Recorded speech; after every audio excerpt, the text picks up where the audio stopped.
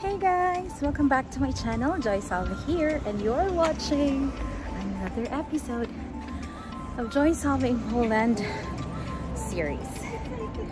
And now we're here in a Filipino store here in Poznan and I'm going to show you around.